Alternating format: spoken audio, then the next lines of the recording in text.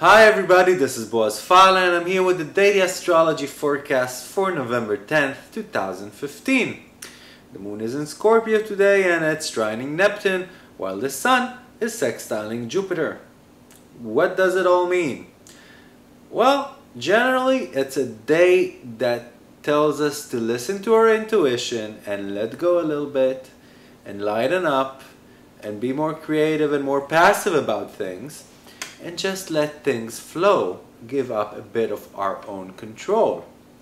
And, and, and maybe even feel a bit um, lighter than we did these previous days because the, it was like a cloud hanging around.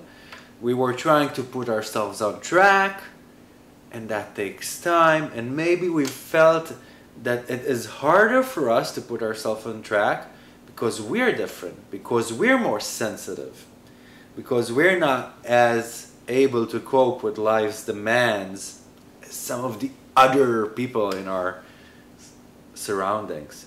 Well, that's not true. That's just a general feeling that we all have during these days. And I want you to remember that the only reason that you have such a fabulous and unique song to sing is because you are different.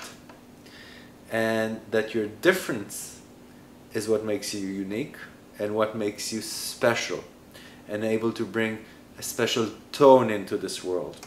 And that any progress takes time and every great journey is made out of small steps. So put that pressure away and understand that we just need to relax and sing our, and sing our song if we want to be happy and if we want to continue on our roads towards our goals. Other than that, if you live in the uh, United States of America or somewhere in uh, the North American continent, or any of the Americas for that matter, be careful because later on today there is an uncomfortable aspect of the moon to the nodes that might blow things out of proportions and make you more uptight or frustrated about things.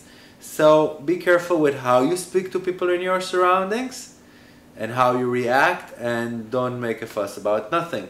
If you're not in that vicinity of the world, you'll probably be fast asleep. I'll see you all tomorrow. Thank you for being with me. This is Boaz Fyler. Goodbye.